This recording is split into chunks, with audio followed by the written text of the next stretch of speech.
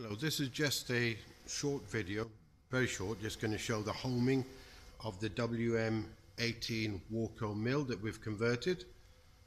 This is available for sale, pre-converted and can be bought from our website. You'll find the link in our description. What we're going to do now is just quickly do a homing sequence. Now this is a double home, so in other words it comes in at a reasonable speed backs off and then comes in at a very slow predetermined speed so we get a very accurate reference. This machine is being set up to be about 3 meters per minute on all three axes.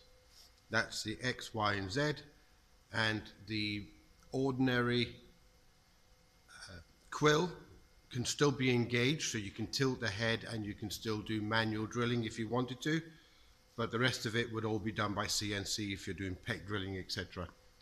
So here we'll just do a quick home.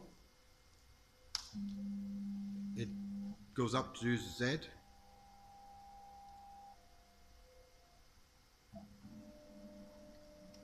Now if you watch a little LED, it's backed off, it's going to come back in slow and triggered. It's going to do the same thing with the x-axis. This is going in about 900 millimeters a minute just because we don't want to go in too fast and damage the sensor.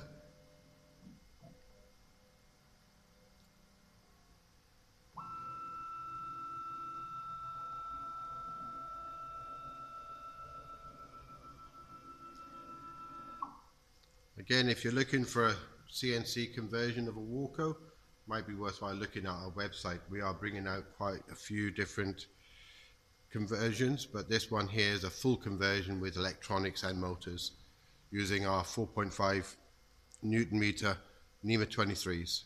Thank you very much for watching.